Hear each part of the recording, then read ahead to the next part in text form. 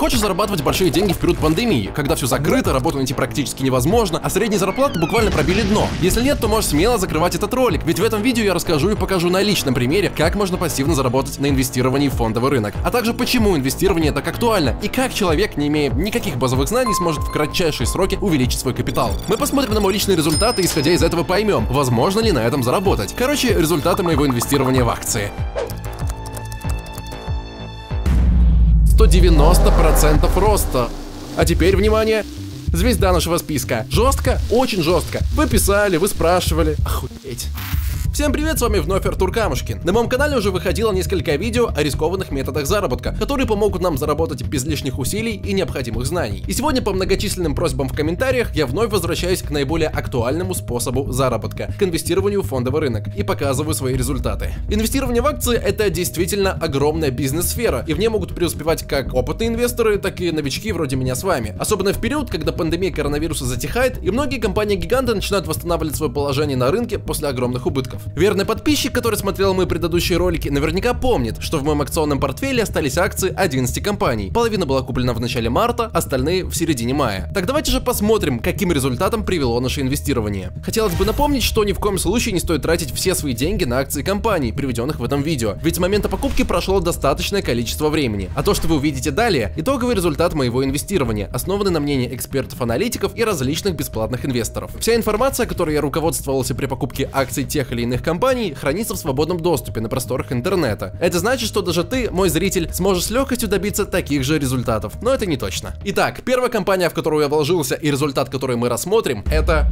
Facebook. Facebook это разработчик и оператор одноименной социальной сети, которая позволяет людям общаться с помощью смартфонов и компьютеров. Это самая популярная социальная сеть в мире. Более того, компании принадлежат Instagram и WhatsApp. В январе этого года акции этой компании упали в цене на 9%. Связано это с блокировкой аккаунтов бывшего президента США таких сетевых гигантах, как Twitter, Instagram, Facebook и Snapchat, что вызвало огромный резонанс в обществе. Все либерал-демократы начали выйти своих углов, что это возмутительное нарушение свободы слова человека. Оно и понятно, ведь сторонников у бывшего президента было действительно много. Facebook же отмахнулся банальным нарушением политики и социальных сетей и все равно не восстановил аккаунты Трампа. Резонанс быстро стих, а Facebook получил своего рода черный пиар среди противников Трампа, коих по всему миру в разы больше, чем сторонников. Ладно, один дед ушел, а второй встал на его место, но вот экономика экономика такой огромной компании должна идти вперед. В начале марта, основываясь на мнениях экспертов из YouTube, я купил одну акцию Facebook по цене в 265 долларов за штуку, соответственно. Эксперты и аналитики прогнозировали значительный рост этой компании. Аргументировали они это тем, что Facebook уже пережил свой экономический спад в связи с пандемией, а также то, что в цену акции уже вложены все риски, связанные с блокировкой Трампа, например. Пора проверить эти влиятельные мнения экспертов из YouTube спустя несколько месяцев после моего вложения и посмотреть, что там с акциями. Заходим на любую фондовую биржу. В моем случае такая функция сразу интегрирована в банк, которым я пользуюсь. Заходим мы наблюдаем в цену в 374 доллара 94 цента за штуку или 110 долларов чистой прибыли. В процентах это будет 41% с половиной, что действительно удивляет, ведь рост акций на 40%, особенно акции такой огромной компании, это редкость. Второй в списке компаний, акции которые я приобрел, является Microsoft. Рассказывать про Microsoft можно очень долго, и вряд ли кому-то это будет интересно. Microsoft это крупнейший американский производитель программного обеспечения. Самыми известными продуктами являются операционные системы семейства Windows, офисные пакеты Microsoft Office, приложения для разработки программного обеспечения видеоигр, различные системные утилиты, а также бизнес и интернет-приложения. Продукция продается более чем в 80 странах мира, а программы переведены на 45 языков. 1 марта я приобрел акцию этой компании по цене в 237 долларов за штуку, также основываясь на мнении глубоко уважаемых экспертов из YouTube. Квартальная отчетность гиганта за последний период 2020 года показывала положительную динамику, хоть и не самую большую. А вот за начало 2021 года акции успели увеличиться в цене на 8,87%, что, конечно же, внушает уверенность. Смотрим на котировки акций. На сегодняшний день одна акция стоит 289 долларов. Фиксируем чистую прибыль в 52 доллара или 22%. И снова прогнозы наших аналитиков сработали, и снова ютуберы получают плюс в репутацию. И я уже чувствую небольшой мандраж. Неужели все может быть настолько хорошо и прибыльно? Ну, поехали дальше.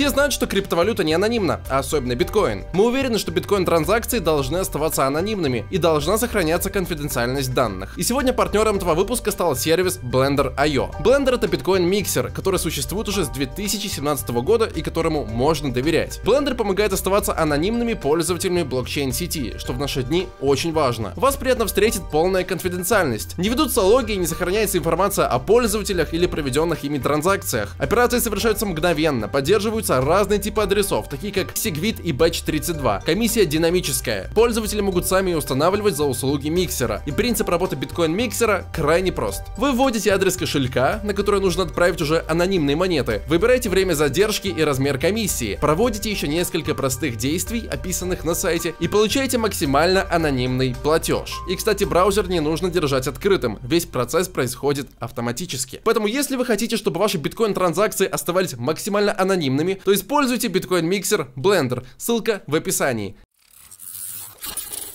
Следующая компания, акции которой я приобрел в марте, это Palantir Technologies. Данная американская компания занимает нишу разработчика программ, которые анализируют данные для организаций. Ее основными заказчиками являются спецслужбы, инвестиционные банки и хедж-фонды. Почему акции Palantir? Все довольно просто. Компания не так давно начала привлекать клиентов из некоммерческих организаций, что в свою очередь всегда сопровождается ростом всех активов. Не всю жизнь же сидеть на госконтрактах. А госконтракты в свою очередь составляют 55% от выручки компании за 2019 год год. Например, в ноябре 2020 года акции Палантира взлетели на 200%, то есть стали втрое дороже. И все это в период одного месяца. Да и вообще, вся новостная тенденция у Палантира была воодушевляющей. Заходим в наше портфолио и обосрался, ведь цена акции 21 доллар 96 центов, хотя покупал я ее за 24 доллара 82 цента. Открываем график по масштабнее и узнаем много новых фактов о себе, ведь пиковая цена акции составляла 27 долларов 38 центов еще месяц назад, после чего наблюдаем довольно стремительное падение. Не фартануло, ну или я не уследил. Грустно, да не очень, ведь в портфолио у меня всего лишь находилась одна акция этой компании, и путем несложной арифметики мы получаем убыток в 2 доллара 86 центов. Да, всего лишь 2 доллара. А мы переходим к акциям следующей компании.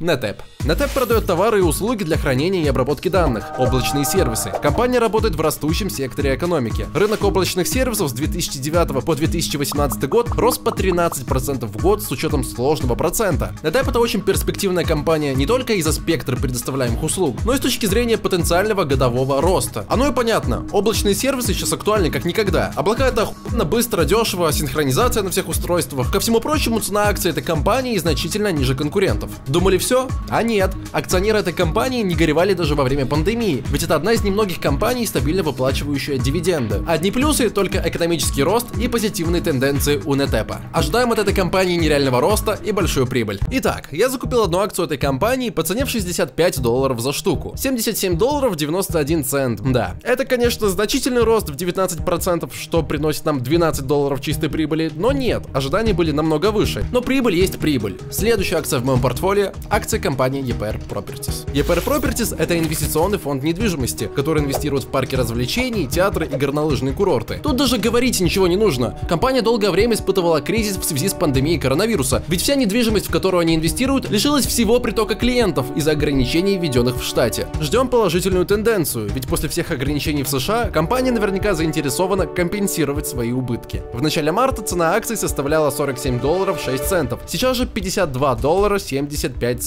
Это не может не радовать. Одни плюсы. А я уже думал, Lamborghini никакого цвета я буду покупать. Но пока рано радоваться, потому что впереди у нас еще 6 компаний. Nokia. Прежде всего стоит забыть о старом образе Nokia. В данный момент компания обладает наибольшим числом патентов в Европе на технологию 5G и не собирается на этом останавливаться. В последние месяцы Nokia объявила о множестве ключевых событий и планов на будущее, которые могут привести ее к лидерству в рамках четвертой промышленной революции.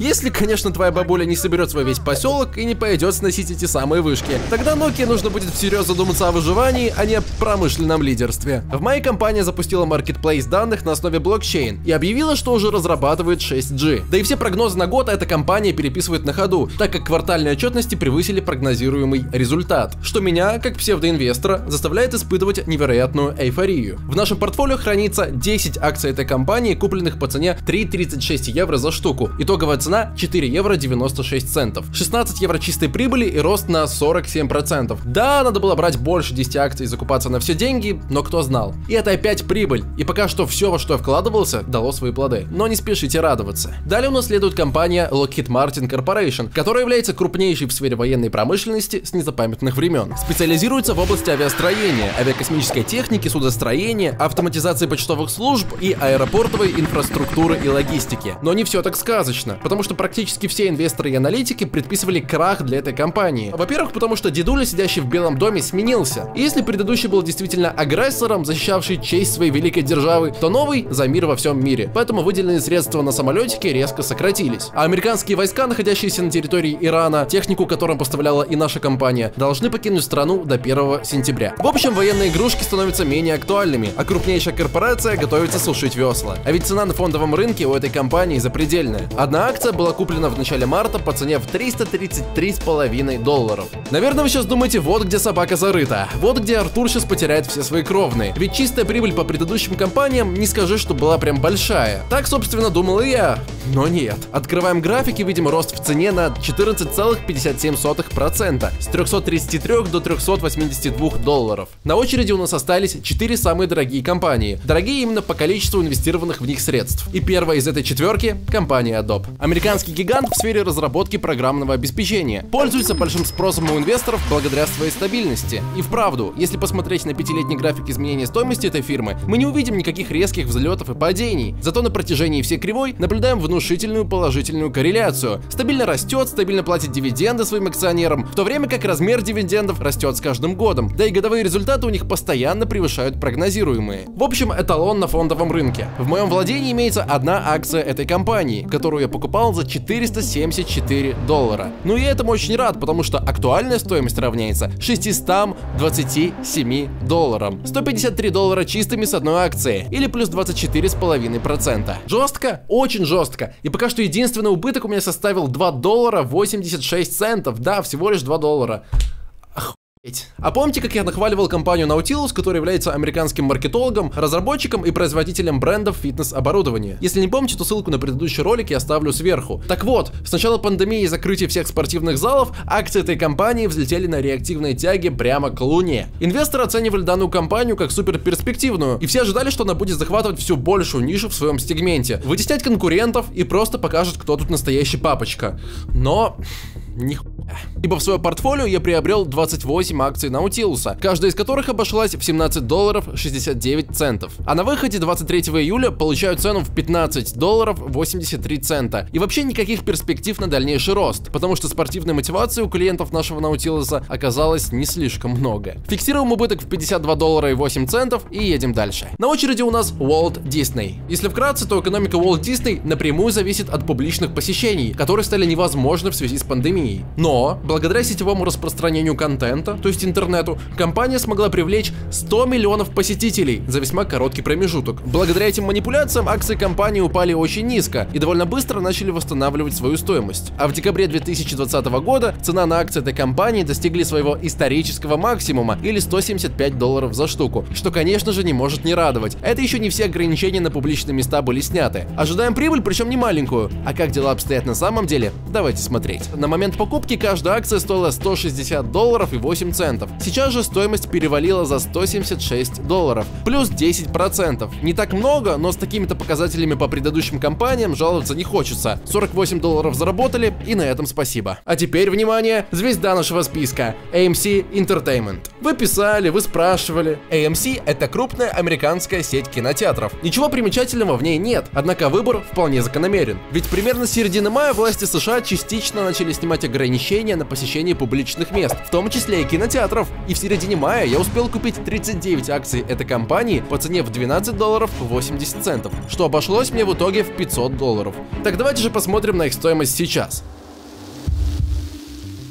Рекорд актуальной стоимости в 37 долларов 16 долларов за штуку. Чистая прибыль 950 долларов при вложениях в 500. Или 37 долларов за акцию – это не рекорд. Масштабируем график на период в 6 месяцев и на самом деле, мое удивление, это обычная симуляция, потому что за этой компанией я следил особенно тщательно. Как вы можете увидеть, рекорд был установлен чуть более месяца назад, 2 июня. На тот момент акции компании стоили 62 доллара 55 центов за штуку. Скажу больше, цена взвинтилась буквально у меня на глазах. Моя ошибка в том, что я не подумал о последующей не менее сильной коррекции и рассчитывал, что цена продолжит расти еще какое-то время. Но не продолжила. Да-да, вот так на моих глазах сгорело почти 1000 баксов дополнительной прибыли. Но имеем что имеем, а имеем мы индустрию инвестирования в целом. Потому что чистая прибыль с акций компании AMC Entertainment составила рекордных 950 долларов при вложениях в 500 баксов. В процентах это феноменальный 190% роста, отталкиваясь от начальной цены акции.